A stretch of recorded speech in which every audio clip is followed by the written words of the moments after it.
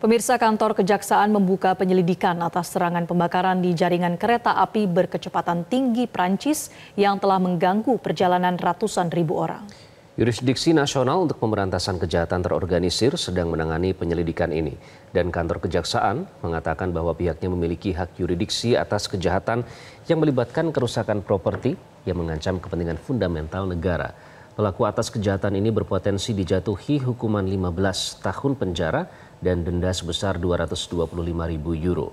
Pejabat Prancis menggambarkan serangan terhadap jaringan kereta api berkecepatan tinggi Prancis sebagai tindakan kriminal dan mengatakan mereka sedang menyelidiki apakah serangan tersebut ada kaitannya dengan Olimpiade.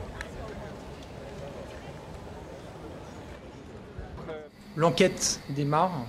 J'appelle chacun à la prudence. Ce que l'on sait, ce que l'on constate, c'est que cette euh, opération a été euh, préparée, coordonnée, que des points névralgiques ont été euh, ciblés, ce qui montre une forme de connaissance du réseau pour savoir où frapper.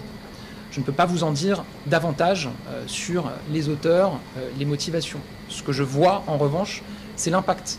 L'impact qui est massif pour nos concitoyens.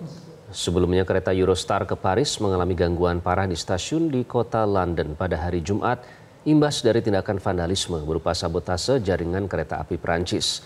Wisatawan yang menuju dan dari London di bawah Selat Inggris menghadapi penundaan yang cukup lama.